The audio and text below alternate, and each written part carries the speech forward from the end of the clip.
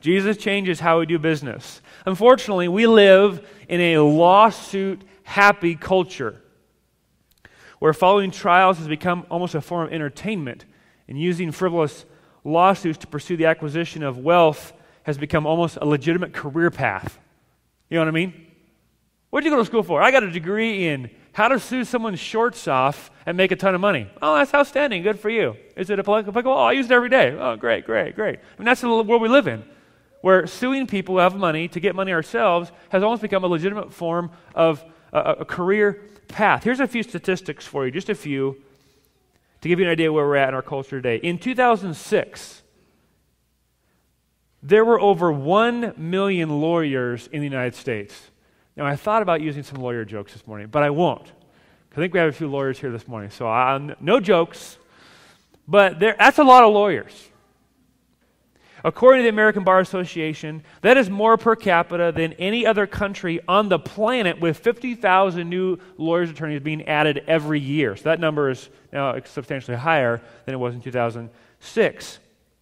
In 2006, there were over 16 million, 16 million, how many did Josh say? 16 million civil cases filed in the United States. That is a ton of litigation. We live in a society that is absolutely enamored with litigation. That's according to the State Court Gu- uh, Guide to Statistical Reporting.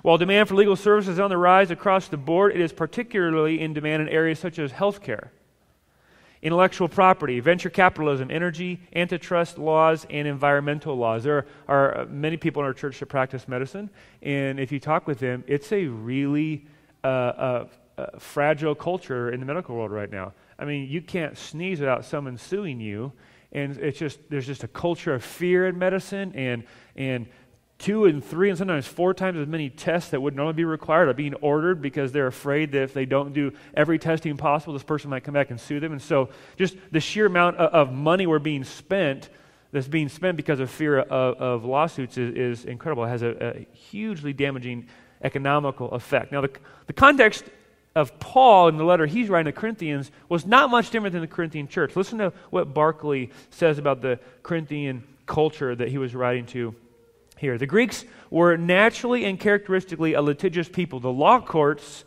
in Paul's time were, in fact, one of their chief amusements and entertainments. See how much we've evolved as a culture? right? I mean, what, what, what has the news been dominated with the last three weeks? Court cases.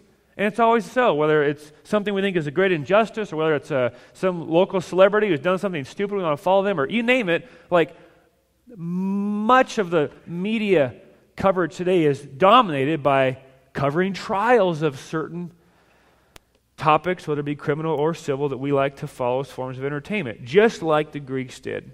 In, in a Greek city, every man was more or less a lawyer and spent a great part of his time either deciding or listening to law cases. The Greeks were, in fact, famous, or notorious, I should say, for their love of going to law. Not unnaturally, then, certain of the Greeks who had been saved by the gospel had brought their litigious tendencies into the Christian church, and Paul is shocked. In fact, the whole scene that Paul's addressing here is, is just filling him with indignation. I mean, Paul's like, What are you doing? You can hardly believe the way they're treating each other when it comes to litigation regarding trivial issues. Now, the awesome thing about the book of Corinthians is that it is not a very idealistic book. In other words, it doesn't spend a whole lot of time or energy painting this idealistic picture of the church and what it's like, and it's so wonderful, and there's no sin here.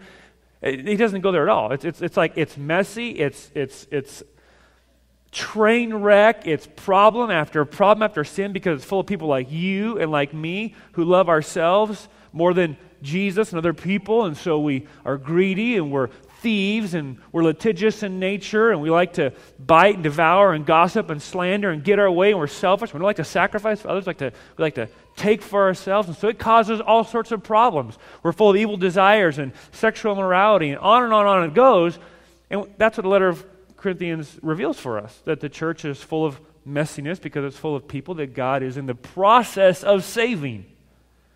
And so the beauty of the Corinthian letter is that it's not idealistic, it's, it's very, very realistic.